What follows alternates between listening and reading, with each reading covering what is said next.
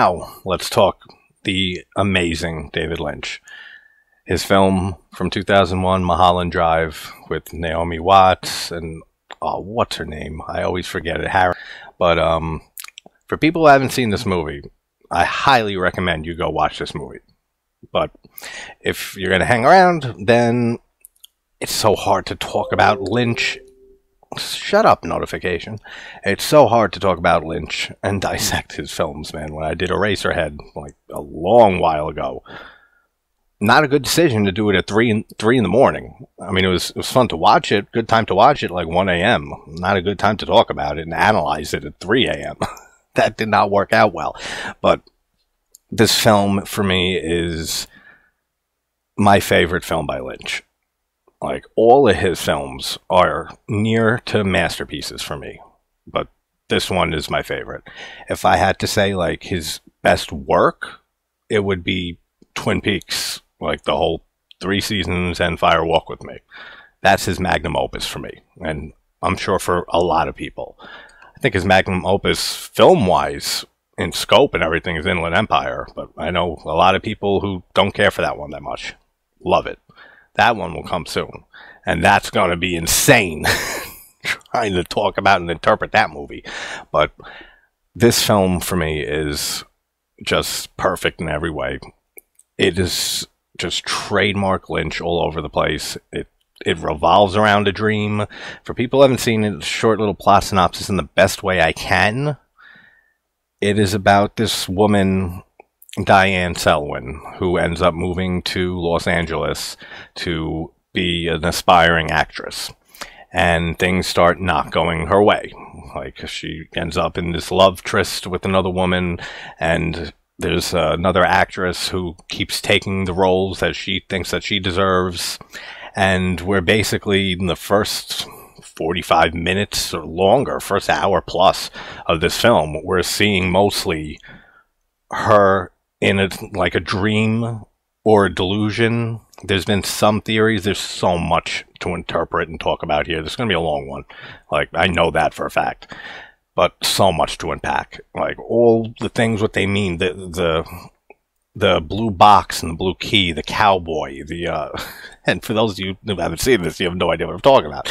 But all of that, um, the the bum behind uh, Winkies, which is one of the best jump scares in a film. Oh, it's so good. What a mess. That's how you do a goddamn jump scare. I'll be talking about that scene just a decent amount when we get there. But everything is just perfect in this. And the blanket for the directing, the editing, the, the sound design. Lynch is the only director that I have to watch his films always with headphones because his sound design is, in my opinion, I think he, he, he has the best sound design of anybody in film. Like he is the best with sound design. And through all of Twin Peaks, all of his films, just he's a master. And it's just listening to the film with headphones it's so much more immersive, man. It really is. And for the type of films that Lynch makes, they're already very visually stimulating, very immersive, with you know mind-wise too, and just gets you thinking in a million different directions. When you put headphones on and listen to a Lynch film, and while you're watching with headphones, nothing like it. Like it just adds so much to the experience. And with the return, uh, season three of Twin Peaks unbelievable the sound design in that. Like that was on a completely different like stratosphere galley galley galaxy universe level. Like absolutely phenomenal sound design. The acting is is perfect in this. Naomi White White why can't I speak? Because I can never speak. No Naomi Watts fantastic as always. One of my favorite performances by her for sure. Like she kills it in this. Harrington is amazing too. Everybody. There's not a bad performance, just like any other David Lynch film. So let's talk about Mulholland Drive. I don't know how, and I still haven't given that uh, spoiler-free synopsis yet. so she ends up going, and it doesn't end up working out for her. So we're living in her delusion, basically. And for the first, like I said, hour plus, we're not seeing reality until reality starts colliding, you know, and coming to fruition and breaking through at the end. But there's so much to interpret. There's so many theories. There's so much to talk about. Let's do it. Just from the the first moments with the jitterbug scene, already you know what you're in for, whether you're a Lynch fan or you're not. Just the the purple background. It's just a blank background, just purple in color, and then the same dancers, but dancing in different poses and choreographs and stuff like that. Surreal as can be, Lynch as can be. The song is awesome. the jitterbug's great. And then we see the flash of Betty with the two, uh, the old couple that she travels with and then attacks her uh, later on in the movie. I don't even know the best way to talk about this movie. Like, probably should just go through the the first half of the movie, you know, first part of it, the dream, or whatever you want to call it. And then as reality unfolds, try to interpret what all those, all the little things and pieces of this puzzle mean in reality. It's probably the best way to do it, so we'll do it that way. So we have the, after the jitterbug, we have the opening uh, POV cam of Diane in her apartment. And there's a theory. I forget if I mentioned it because I've already started this video, got like seven minutes in, and then my camera fucked up. So then I had to redo it. So if I say something again, it's because I'm thinking that is from the last time. so whatever. But there's a theory that she, you can hear the sound of her like smoking cocaine, crack. Interesting theory, but it's it's whatever. I don't buy that at all. Like it, you just hear her like exhale, basically. So I mean, we know how she is. She's not in touch with reality. So I don't think she's smoking crack. I mean, I think that's a pretty long stretch. And they say that like that leads to this whole delusion. Like it's a drug induced stupor. It's like a drug induced delusion that she's living in her head. Again, interesting. I don't buy it.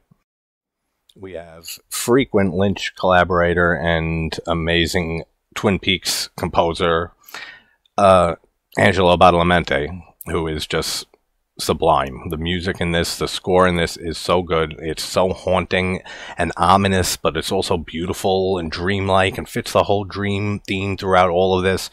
I, he can't do any wrong, Badalamenti. Like, what a great composer. Even though I already gave some spoilers and stuff, but from here on, full on spoilers and explanations and theories and stuff like that for people who haven't seen it and want to see it first. All right, first of all, it's not Harrington. it's Harring, Laura Harring, and I wanted to say Laura, so whatever. We'll split the difference on who was correct, even though I was the only one saying anything. But she plays Rita in the delusion here, and well, and in reality, but we'll get there. And she's on Mulholland Drive in Los Angeles, in a car with these two men dressed in black, and one turns back and tells her to get out of the car and points a gun at her.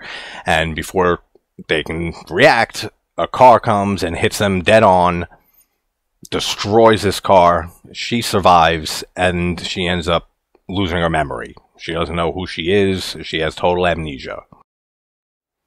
This is something that only pretty decent Lynch fans will get this little reference, but the um, when you see one of the ambulances on it, it says 119 for the reflection. And in Twin Peaks The Return, we hear a character, a very minor character, screaming out 119, 11. Nice little reference to this. So the police show up, detectives and everything for this car accident, and they assume that there's somebody missing because they find stuff in the back seat. And we have Robert Forster here, who I adore, and I, oh, I was so gutted to hear he passed away just like a year or two after Twin Peaks: The Return. What a fantastic actor, man! Like he's been in so many great things, Jackie Brown and uh, Twin Peaks: The Return, Breaking Bad, and more recently stuff, but. He's uh, so much stuff he's been in, and he's so great in everything. And it's sad seeing him actually here because I wish he was still alive and was able to still do amazing roles. Now, Rita, the one with amnesia, she go wanders into town into LA from Mulholland Drive, and she ends up sleeping like in some in uh, a yard. And then we get to the Winky scene with one of the best jump scares in a film. Now, what do I want to say about this first? There's so much to talk about just in the scene alone. First of all, when you see this movie for the first time, you don't know these characters at all. You, we don't know their names. We don't know anything about them. They're just sitting in Winkies on Sunset Boulevard, which, if you're a Lynch fan, you know how much Lynch adores the film Sunset Boulevard from the 50s. And there's a decent amount of references in here. I'm pretty sure the main character from that movie, I haven't seen him forever, Norma, uh, Norma Desmond, which Norma Jennings from Twin Peaks is named after that, and Desmond uh, Chester Desmond from uh, Fire Walk with Me, named after that too. But I'm pretty sure we see Norma's car also in this. So there's Sunset Boulevard references in a, pretty much all of Lynch's stuff, but good to point out. So we know nothing about these people but the way that Lynch builds the, the suspense here and the tension and the dreamlike feeling with the camera work that just, and, and like the extras in the background that are all eating, you can't hear anything from them. All you hear is the dialogue between the two men here. So it adds some creepiness just like that and makes it feel very dreamlike that it, they feel isolated. They feel like it's just them. Great job with that then it just starts building with his story. And he starts telling his friend here that he had a dream twice now that the two of them were at this specific Winkies and he's sitting there at the table and he is frightened beyond belief and he doesn't know why. He knows that it's a feeling he has that there's a man behind the Winkies and he has a hideous face and he hopes that he never sees him in real life. Already right here. Like, and this is, it's, it's such a unique jump scare, man, because it, it's not your usual jump scare. There's, well, there's so much. I'm going to keep saying that. But for the first part, like like I said, we don't know these people, so th- there should be no investment. But because of just the way it's filmed and the dialogue and how dreamlike it feels, it pulls you in. It's like it's hypnotic. To quote I forgot who it was from earlier with the City of the Living Dead. Same thing. And when they finally get to the part when he says he looks over at the counter and sees his friend standing there in the dreams that he had. And he's just as scared as he is. And then they walk outside to the back and there's that hideous man there. Now, then it starts playing out just like the dream because his friend gets up after the conversation, walks to the counter, and then the man turns around, and that's when he sees his friend at the counter, just like in his dream. So we know this is just like his dream. And all of this is happening in Diane's mind, by the way. So there's a whole bunch of layers here, but this is all just concocted in her mind. The bum in the back she's played by the same woman who plays the nun in The Conjuring 2, fun fact. The makeup is so great on her. like, she is scary. Like, what a scary character. And we see her again at the end of the movie. Just him referring to her, since it's a woman, as a man, this scary, frightening man in the back, makes it more dreamy and just weird and eerie too. That when you finally see it, because it's not a man. There's just so much expertise in filmmaking that goes in just this scene alone. And they end up leaving, and they go around the back, and the camera work, man, is phenomenal. Just in front of them, and just, it's bringing them there and you're looking at them and they are terrified, especially the main guy. And then we're taken for the ride and we're going, we're looking right at this wall in the back of this Winkies. And as soon as he gets close to the wall, just perfect shot of what hideous woman pops out and we don't get a loud, violent sting like with jump scares today, like dun or anything like that. We actually have the sound drown out and just go down to low bass, and this guy passes out or dies. It's never really explained. A fright that the, the dreams actually is was true, and oh, the jump scare is just so amazing. It's done so masterfully well. One of the best in, in a film. If you haven't seen it, at least watch this scene. Look it up on YouTube. Like, uh, put in whatever, a Mulholland Drive bum scene or, or winky scene. Check it out. It, it's phenomenal.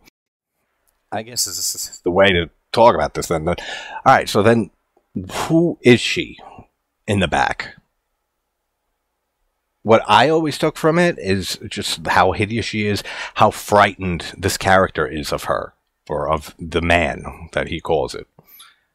It represents Diane's failure and guilt and, and all of that, all the negative feelings and evil and stuff like that. And that's why, in her delusion, we're having this scene in the first place. That these people, especially this main guy, can feel that it's back there. So she can feel her her failure. She can feel that she never became this amazing actress or successful that she wanted to be. And that's what this thing represents. And that she never wants to see this thing in real life. So she never wants to experience failure. But as we know, she does. So when they walk out back and they see it, that's it popping out. and showing his face, her failure, her guilt, her, her feeling uh, so guilty about putting a hit out on her competitor, and then that she had a she had a lover's tryst with her too, right? Like in in in the reality, not in the dream. I don't know. We'll find out. Another thing with the the bum that's brilliant in that jump scare, you see it just slide into frame for that that small second to see like what the fuck is that, and then you see the shot of it sliding back behind the wall, disappearing, but you you can't see the face. Like it's already made its way back, so you don't get to see it again. And on your first watch, it's it's it's mind blowing. Such great stuff. Then we end up getting to the I don't even know what to call them. They're kind of like who's behind Hollywood, like the people who control Hollywood and filmmaking and everything like that. And then you have the weird looking character man who plays uh, the king of Hollywood. So weird, just just for weird sake, but it works. And then they're making phone calls and they say the girl's still missing. Now, when they show the last phone, you have the lamp right there. That's Diane's phone at the end of the movie. So, in her fantasy here, are they saying that she's missing? And what is that supposed to represent? That she's again like her failures and stuff. That she uh, her loss with reality. Let me know. Let me know in the comments, and if if uh, you're watching this in the premiere, start throwing out theories for everything in here because I'm gonna need them. So we have Betty's first scene of her arriving in LA off the air, off the airport, off the airport, at the airport, off the airplane or at the airport off the airplane. And she looks great. She looks just cheerful and optimistic and everything that she's finally here. And as she says in a little bit, that she feels like she's entered this dream world. And Irene and the old man, too, I'm guessing they're a couple, right? That are on the trip with them that she ends up talking to and they wish her good luck and everything and that we'll be looking for you on TV. We see them, as I said, a flash at the very beginning after the jitterbug scene with her, and then we see them later on in the film when they come out of the bag that the bum drops in the back of uh, Winky's, and we see the miniature versions of them, and then they come to Diane's apartment, and the whole climactic ending happens. So, are these in real life? I forget if they show them. I gotta wait for that to see what they represent, like in the dream. But uh, they could be relatives of hers. They could be, they could be just people that she did meet when she first, you know, moved to LA. But we'll figure out more theories for that. But yeah, we see a lot of that here in the whole first part of the movie in the dream that she pulls in a bunch of characters and faces and names and everything from reality. And we see Coco, the landlady, her uh, landlord. She is actually, we see later on, is the director of the film that uh, Camilla ends up getting the part over her. It's his mother in real life. So she ended up using that and pulling her into her fantasy world as the landlord for her apartment. That apparently it's her aunt's apartment.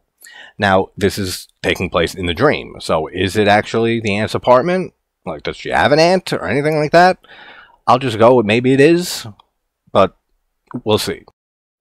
Who plays Coco? It's Ann Miller, right? She, she, she, I've seen her in a lot of stuff. I'm pretty sure it's Ann Miller. So after her her conversation with Coco, she ends up going into her apartment, uh, her aunt's apartment, and finds Rita, the amnesiac, in the shower, showering. And then they talk for a little bit, and she ends up telling her that she was in an accident and everything, and that she can't remember who she is. And just the dynamic between the two of them in this film is excellent. Not to mention, we get a nice little like lesbian sex scene between the two of them later. So the whole conspiracy Hollywood mob, kind of, if you will, they are pretty much like a mob for Hollywood. And they, in the dream sequence here, the whole uh, alternate reality she's thinking, the director of the film that she doesn't get the role for is being threatened to and ends up eventually being threatened to use Camilla another the other actress in his movie and not Betty, even though he kind of wanted to use her, and everybody that she auditioned in front of loved her, except for the director of the film. So this whole conspiracy in Hollywood of who to cast for this role, and the reason that Betty's not making it the way that she wished that she would. I'm guessing all of that just represents you know, a justification for why she didn't hit it big, for why her career never took off, for why she's losing touch with reality and that why she didn't get these parts. It's all a conspiracy against her. Like the, the people of Hollywood are you know, it's it's all about money, it's all about who you know and stuff, and she's not in the know. It's all this big conspiracy that she sees against herself. That's how I've always taken the whole mob of Hollywood thing. It's a cool cameo from uh, Angelo Badalamenti, the composer, in the Hollywood mob, for lack of a better term, um, meeting that they have with the director, Adam Kesher. I think it's Adam, right? It's Kesher, I know that for a fact. But again, the whole King of Hollywood look and everything is, is is just so eerie, man. Like this guy looks ridiculous, and that's another thing that adds to what I think this all means to her in her mind in this you know fantasy world of hers. He looks corrupted, and it, it's he's the king of Hollywood, so it's just he has to be the most you know unnatural looking, the most inhuman looking. He has to look the way that he looks to look just as corrupt as he actually is, or she perceives Hollywood to be against her. And of course, only Michael Anderson could have played him because just how he looks to begin with, but just the whole getup that they put him in and stuff, it looks excellent here. Now, I forget a lot about the you know the start of this project, but this was supposed to be a series, and the film what became the film started off as a pilot for the series.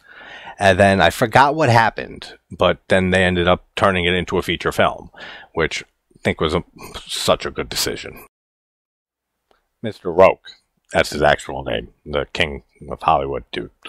But the scene where the guy comes in and talks to him and says that, you know, the woman's name is Camilla Rhodes, the actress that they want and the director doesn't want her. Should we, you know, cancel the whole thing? And he tells him, you know, not to. But all of that, the cinematography is gorgeous, and the dreamlike feeling is off the walls. The sound design with the the background noise, white noises type like low rumble and like we hear in a lot of Lynch stuff.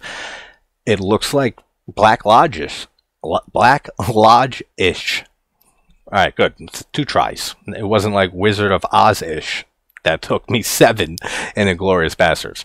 So we're doing better, but it it looks just so surreal. It looks fantastic. Just everything looks so still in a lot of scenes in Lynch's work, and it just amplifies that dream feeling and that surrealism to the extreme. Like he, the way that he films scenes with just long pauses of just hearing the, that white noise or whatever sound design and music that's going on at the time, sound effects and stuff. And how it's just, he lingers on characters standing there and the background, and how it's lit and the cinematography, it just, it looks so still. It, it feels alien. He, he's the master. He, David Lynch is I, I always say this one of my favorite directors of all time, one of my favorite human beings to ever exist. And he's just a director in his own galaxy. Like, there's nobody like David Lynch. Now, let's talk the Hitman. So, we know Diane Selwyn, in reality, puts out a hit on, you know, the competitor, competitor actress. I forget her, name in reality. Is it Camilla? Or is it? We'll find out. But the hitman goes to kill this person and botches this hit in the dream and ends up the bullet goes through the wall when he shoots the one dude that he's there for. He's there to grab a book of phone numbers. And we see in Diane's meeting with him in reality later when she's setting up the hit and he gives her the blue key. We see him, he has that same book there. So that's just another thing she pulled out of reality and used here to, I guess, represent the Hitman. Same with the key, but we'll get to that in the box because there's a lot there. But he has the bullet goes through the wall and shoots some other woman, like hits another woman. He has to kill her, and then the janitor's there, and he's like, "Can you come in here for a second? he's got to kill this guy, this guy too. Now, I think the number three is pretty significant significant in this film. We see the hitman here. He, like I said, he kills three people. The cowboy we see three times in the film. That, well, Diane sees him three times. Right? Yeah, Diane sees him three times, and uh, Kesher gets a visit from him.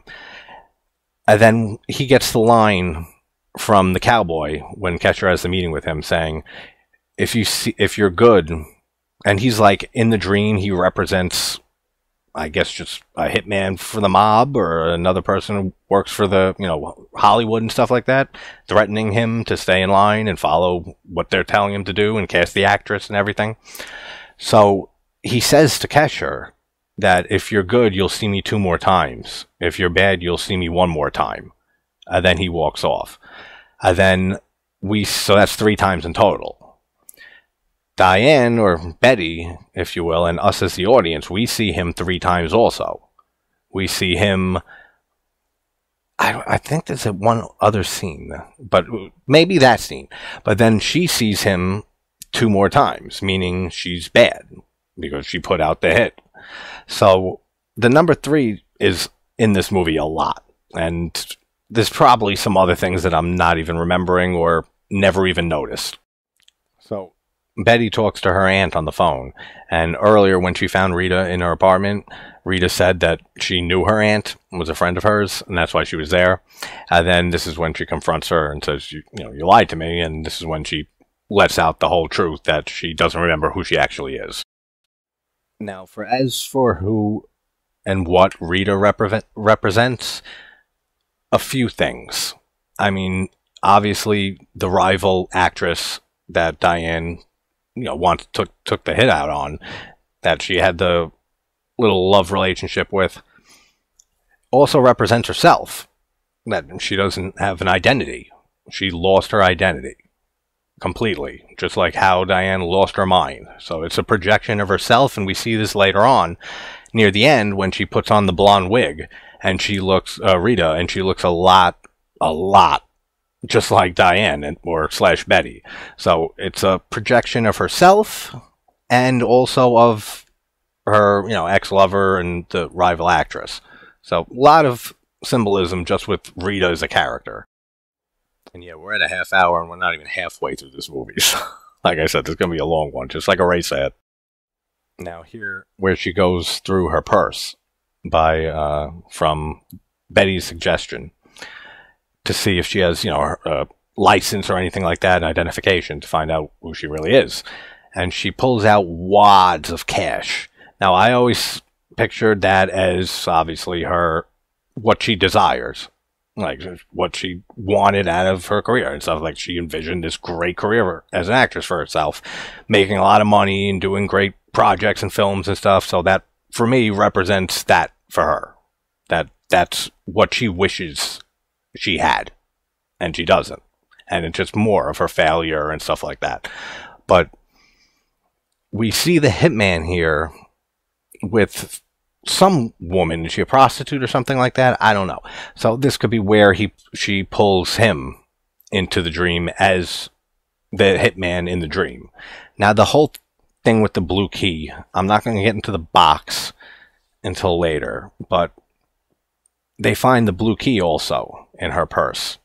And the color blue was used a lot in this film. And I always took it as death. Like she we see the box in Diane's drawer at the end of the movie when she reaches for the gun. The key is blue, and we have the scene when she's in the Winkies talking to the hitman and setting up the hit. He gives her the key, the blue key, and says, you know, uh, when it's done, you'll find this where I said I'll leave it. And she asks, what does it open? And he just laughs at the question in classic Lynch, like over the top laughter at a comment that we've seen in a lot of stuff from him, especially Twin Peaks. And that leads me to think that it's, it doesn't open anything. That's just his way of letting her know that the hit is done, that the job's done. When so he just leaves it, you know, as a as a cue that here you go, it's all it the job is taken care of. That's what I think it represents. But to her, it represents something in her delusion. It's a mystery to her that it's supposed to fit in the blue box. I mean, I guess we'll talk a little about the blue box. I always took it as kind of representing how Diane is sucked away from reality and also how she's spit back into reality at the end of the film. And it makes sense because seeing the blue key, which is supposed to represent the hit, the thing that she feels really guilty of after she puts an emotion, snaps her back to the reality of the situation that she put a hit out on this woman. Like this, act, she did this, and now she she would have to live with this. And just seeing the blue key unlocks that in her mind and brings it to the surface, and that's the symbolism of it opening the box. Anyone else have great theories on it?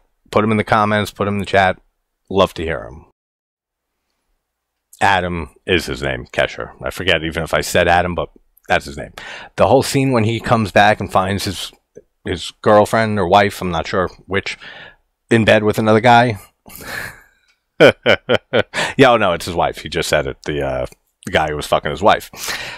So he walks in and finds that, and the first thing he does is he goes and grabs the jewelry box, and he ends up taking pink paint and pouring it over the jewelry. As fuck you, you ain't getting any of this.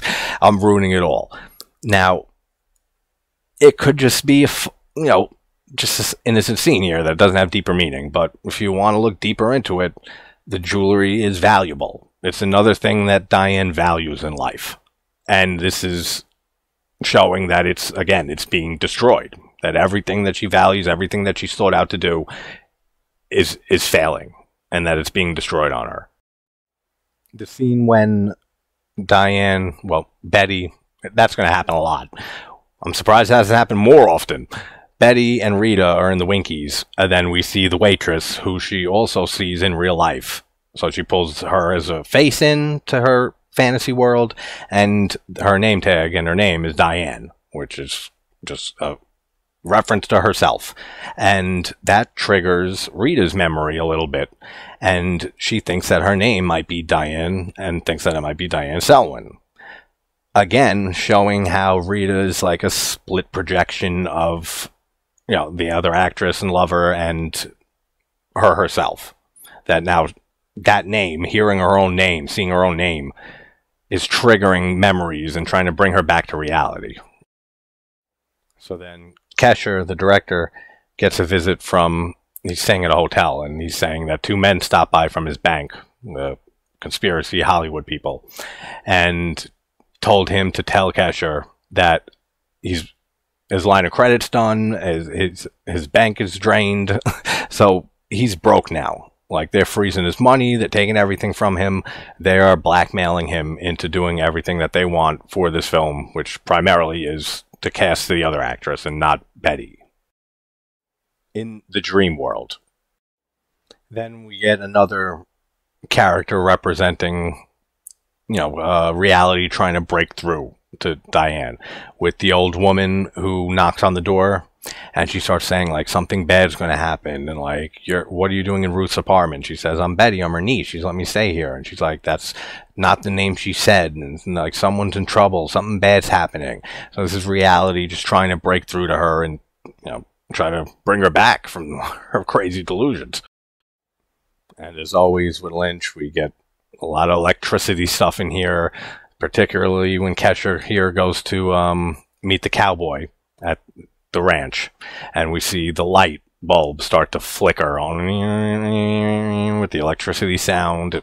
The sound design just again excellent, and this whole scene we talked about it already with the cowboy and saying if you see me two more times if you're good, one more time if you're bad, or no, one more time if you're bad, two more times if you're good. So again, this represents how many times she, Diane, sees him, and she's been bad. So, not good to see him uh, twice. Yeah, what a phenomenal scene with the cowboy, man. And then him just saying right after those lines, he just says, good night, walks off, and then the light bulb flickers again and goes out. So, just what a creepy character, too, man. Like, that's such a surreal scene. And the cinematography again is amazing. Just the way how still everything looks how dark it is like out there in the desert like on the ranch. Everything looks great. Yeah the chemistry between Harring not Harrington and uh, Naomi Watts is just so good in this especially when they're doing the lines for the audition that she has the next day and they're going back and forth off each other. Like what a great dynamic. Her audition scene is great. Now, again, since this is taking place as Betty in this fantasy, is she really this talented in real life as Diane? I don't know. Like, we don't see her act as Diane, so we can't really determine that. But this could just be a delusion in her head that Carrie, you laugh at this. We were just talking about it. Like in uh, It's Always Sunny in Philadelphia at the reunion high school reunion and they're dancing and they think it's uh, phenomenal. And then we see it's just absolutely atrocious and they're doing terrible. so who knows if this is just in her, you know, subconscious, in her mind, that she's this phenomenal actress and she's just not. And that led to, you know, her not making it. Or she really is a great actress and she just, you know, didn't didn't get lucky and she didn't get the part. There's no conspiracy against her, and she just no, it has to justify all this because she can't admit to herself that she didn't make it here, that she didn't fill like fulfill her dreams in any way that she wanted. Because everyone in the room loves her audition here. They all love it, except for the director of the film. He, just like again, like with Kesher and stuff in her, this fantasy world, the director always has something against her. Like he's the only one not impressed. And that's another another justification in her mind for why she got, you know, picked didn't get picked to uh, you know, the other the other actress. Speaking of uh, the color blue earlier and how I think it represents death and you know the ultimate demise of Diane's character, but we also see it too um, obviously in Club Silencio with the the woman, you know, at Silencio with the blue hair, but we also see it with one of the Hollywood uh, mob guys that in his suit he has a blue like handkerchief or something in there, and again that could just be the same type of thing that rep- not death but this delusion of this whole conspiracy against her and her not making it big results in her death ultimately. So it still is linked to the whole death thing. So great usage of, and Lynch does this all the time with the color usage and blue particularly. I mean, look at all Blue Rose in Twin Peaks. Now Camilla, the actress that Kesher is forced to uh, pick over Betty, even though he seems very smitten with Betty and that he'd like to cast her, but he was just threatened by the cowboy. That sounds so ridiculous. without any contact context if someone just heard like he was threatened by a cow- she was threatened by a cowboy or he was threatened by a cowboy makes no sense. But it did happen because it's a lynch film. And the whole yeah camilla thing another projection of diane herself of everything she wished she was. You know she wished that she was like this rival actress in reality. So in the dream world, it's pretty much everything that she wants for herself, everything, all the success that she wanted. The, her dreams being fulfilled. That's for me what Camilla represents here, and a little, and also represents kind of like Rita in the dream. You know, her real life, you know, rival and lover. Now they go Rita and Betty to Diane Selwyn in the dreams apartment and the neighbor here, I forget is it's the same woman near the end that it, it's heavily implied that Diane in real life had this type of lover relationship with after you know had the fallout with her rival, if you will. Isn't it the same woman? And that's where she pulled this this lady's face from. Pretty sure. So they break into Diane's apartment, which it's number 17, even though when they looked it up it was number 12. And the neighbor says that they switched apartments. Now, is it because they were, like I said, a couple in real life, and when they fell out, then she moved out? Because she's taking things out of Diane's apartment near the end. And, like, says, like, I don't want to forget anything. So I'm pretty sure that explains the neighbor. But they break into Diane quote unquote apartment. And great scene. Great tension. And then they find the body in bed that's posed just like diane's body after she shoots herself at the end of the movie. So this is just showing her ultimate fate like what's going to happen to her. And i mean i don't know how she knows this ahead of time like but like before she kills herself but it's a dream. So or delusion fantasy doesn't really matter and the effects on the dead corpse look great. Like really, really like creepy looking. Also with blue, we have a lot of this film Betty's wearing blue, which again represent death, which is ultimately what befalls her. Now this I just thought of, but when we see Rita put on the blonde wig, like I said earlier, like it's merging reality, trying to bring her back to reality and merging this projection of herself with her actual projection of herself in the dream, if that makes any sense at all. But here's where we get nice tits from uh, Harring, Naomi Watts, great, and then great scene, great stuff, and she says before she she she asks um, Rita that you're going to wear that wig to sleep. You don't have to wear it inside.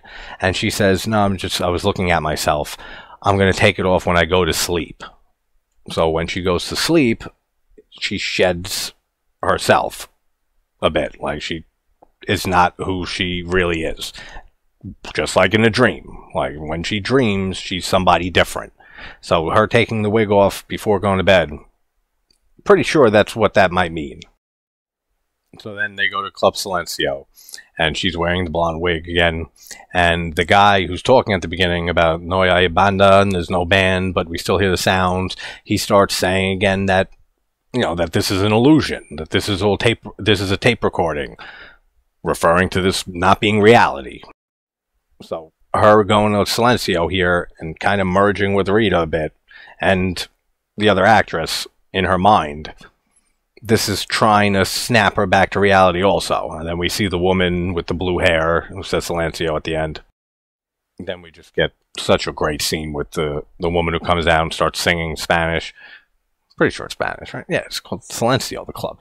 But she's singing, and before she comes out, just trademark Lynch with curtains and the color and how with the sound so trippy so so just out there and just their reactions to the performance like they're getting all they're starting to break down just like you know this delusion also i think it's interesting just saw this too now the woman with the blue hair she's sitting in like a box seat above them kind of like death looking out, like looming over them, like or specifically Diane. Just thought of that. It makes sense, right? Now Rita has the blue box and the key, puts it in, opens it, and she's just sucked out of not reality because it's a, it's a fantasy, but you know what I mean. She's sucked out of existence. Like I said, bringing reality to the surface, you know, unlocking reality. Rita isn't real. She's just a projection in the mind of a very sick and depressed and just crazy woman that she turned into when her mind goes. Then we have the cowboy who shows up.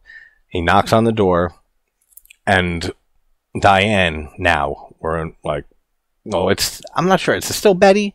Probably, so yeah, because he says, he leans in and he says, time to wake up now. So this is signaling her waking up, obviously, from this delusion and into reality. This is the first time he, that she sees her.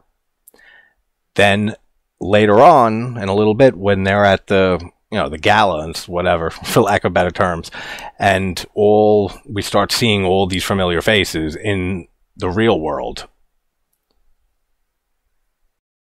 She ends up seeing the cowboy walk it's real quick like he uh, i forget who walks away. Someone walks away and then sh- the cowboy walks right past in the background. So that's the second time because she's been bad yeah so now she's diane and that was the neighbor from earlier same woman so again a fallback you know relationship that she possibly had because she's moving stuff out of the apartment and that explains in the fantasy in the dream why she you know, switched apartments. Uh, Diane, the dream Diane. Yeah, this gets so confusing, man. You have no idea. So that happens. Then she sees the blue key on the table, which is supposed to signify that the hit's done. And this is another thing that I think that's the biggest thing probably that snaps her fully out of this delusion into actual reality, leading to the climax of this film.